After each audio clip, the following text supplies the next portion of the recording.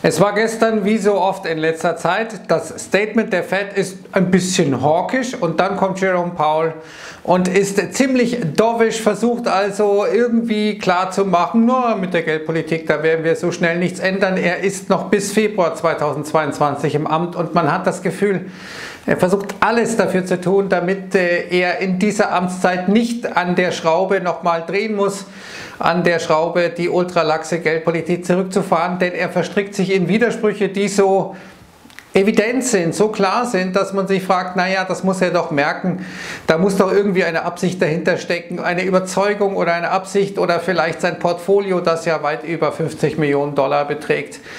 Und ähm, da will er offenkundig keinen Schaden anrichten. Keine Ahnung, das will ich ihm nicht direkt unterstellen, aber es ist schon sehr auffällig, was da passiert. Und das wollen wir uns im Einzelnen mal anschauen.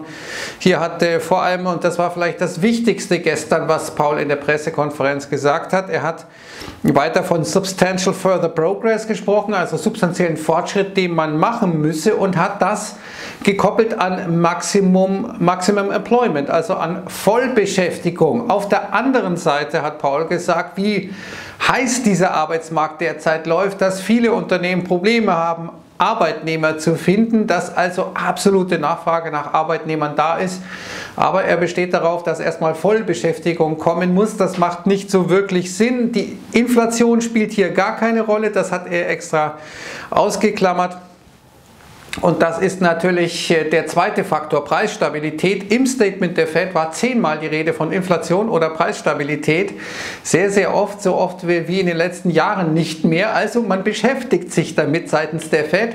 Und Paul ist derjenige, der versucht, das nämlich mit der Inflation unbedingt rauszuhalten, indem er dann wieder gestern klar gemacht hat, naja, das sind temporäre Faktoren, das sind einzelne Sektoren, die eben durch das Reopening da eine Art Schocksituation ausgelöst hat, eine Nachfrage, die dann extrem stark ist, äh, Catch-up-Effekt und die dann wieder nachlassen wird. Äh, die Statistiken zeigen, ich hatte das mehrfach schon auch gebracht, äh, dass es eben nicht nur diese Sektoren sind, sondern dass insgesamt auch ohne diese heiß laufenden Sektoren wie Gebrauchtwagen etc. die Inflation sehr, sehr hoch wäre. Aber sei es drum.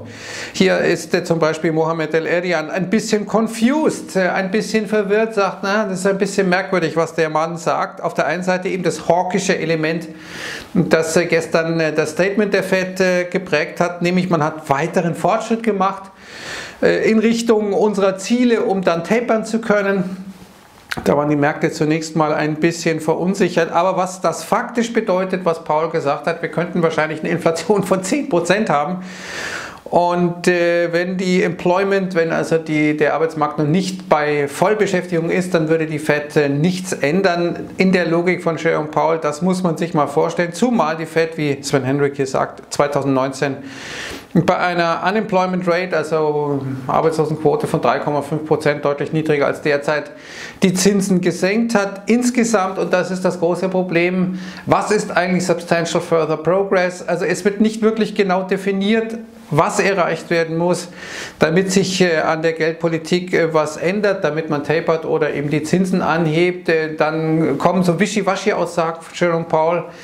All das ist offenkundig eben so, dass er nicht will, dass er letztendlich auch sich durch Daten nicht überzeugen lässt. Er hat nur gesagt, einmal, ich will starke Arbeitsmarktdaten sehen, um meine Meinung zu ändern oder um jetzt diese Geldpolitik äh, zu ändern. Und wir werden wahrscheinlich starke Konjunkturdaten heute sehen. Heute ist die Veröffentlichung des BIPs aus dem zweiten Quartal, Erstveröffentlichung aus den USA, erwartet 8,6 Prozent. Ja, da muss man als Notenbank ja voll auf dem Gaspedal stehen, wenn man nur 8,6 Prozent wächst.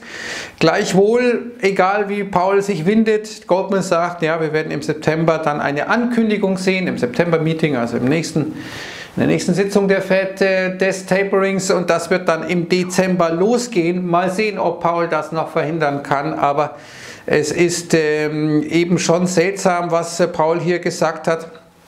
Mohamed El Erdian sagt also, das ist äh, nicht ganz konsistent, das widerspricht sich schlichtweg und er sagte, dass Paul offenkundig hier tiefe Überzeugungen hat, die allerdings durch die Daten der letzten Zeit widerlegt worden sind. Paul hat selber zugegeben, die Risiken sind zur Aufwärtsseite in Sachen Inflation. Man habe die Inflationsentwicklung unterschätzt und will aber letztendlich dennoch an dieser tiefen Überzeugung festhalten. Also Ideologie scheint hier das zentrale Problem zu sein.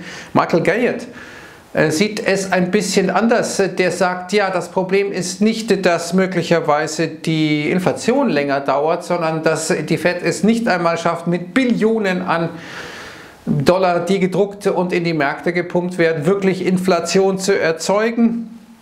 Denn das würde bedeuten, dass die Fed powerless ist, also praktisch machtlos ist. Auch ein interessanter Gedanke.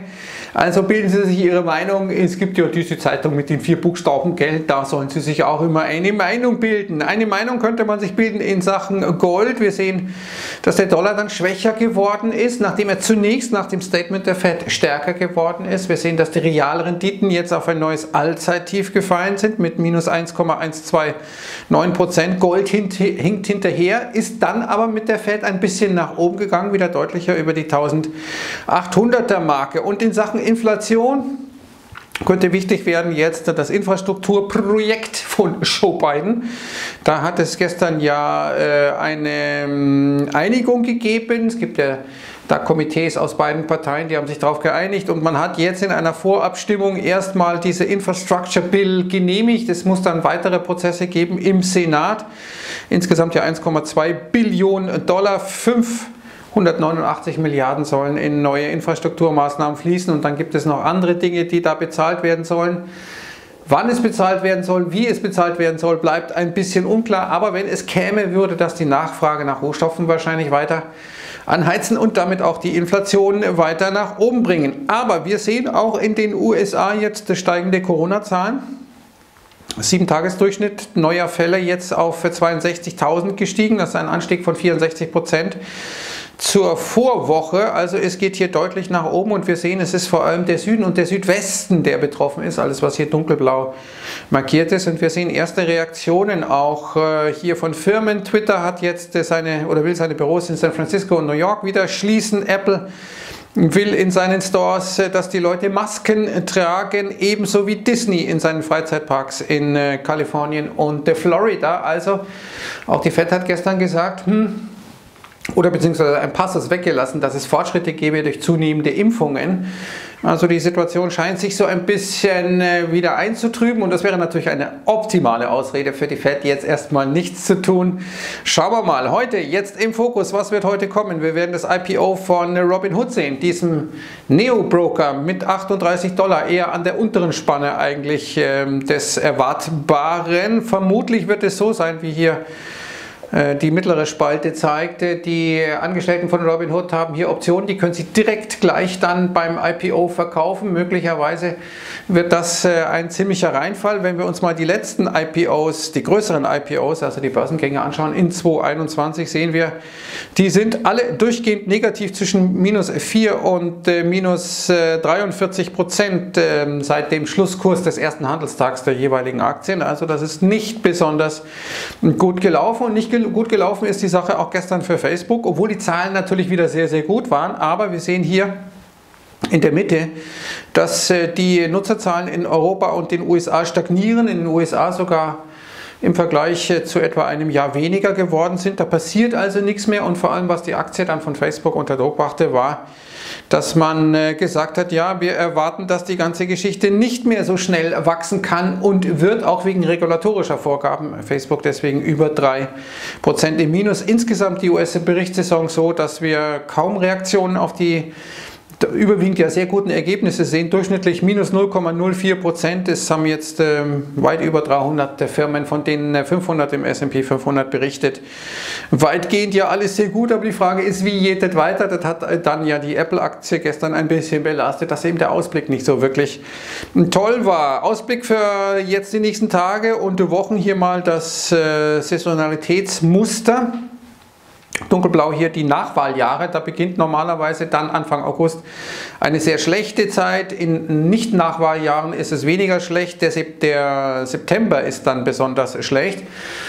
Diesmal ist alles anders, meine Damen und Herren. Das ist ja praktisch klar. Auch weil China jetzt äh, offenkundig oder die Machthaber in Peking die Muffe bekommen haben und gesagt haben, jetzt müssen wir den Aktienmarkt wieder nach oben ziehen Man hat jetzt äh, verlautbaren lassen, dass man IPOs in den USA weiter erlauben wird. Das war schon mal sehr hilfreich. Viele Artikel, die sagen, Mensch, entspannt euch und siehe da, der Hang Seng Tech Index äh, gewinnt mehr als 7%. Also da ist äh, jede Menge Energie aufgewendet worden, um den Fall den man selbst verursacht hat, durch die Maßnahmen aus Peking wieder aufzuhalten. Das hilft erst einmal dem Sentiment. Was wollte ich da bringen? Das war's schon, meine Damen und Herren. Gell? Und mache die Grafik noch einmal, damit Sie was zu schauen haben. Nicht? Also das ist die Situation. Äh, das ist äh, eine fortgesetzte Ignoranz. Es ist der unbedingte Wille, diese Geldpolitik wahrscheinlich bis zu seinem Abtritt nämlich dem von Jerome Powell, in Kraft zu halten. All das wird immer verrückter. Morgen bekommen wir die PCE, die äh, Personal Consumption Expenditure Daten. Das ist die Inflationsberechnung, die für die FED am wichtigsten ist. Das wird ein Hingucker. Heute das BIP 14.30 im Fokus. All das bei finanzmarktwelt.de, meine Damen und Herren. Ich bin gespannt, wie es jetzt weitergeht und wünsche erstmal einen wunderbaren Start in diesen Donnerstag. Servus und ciao.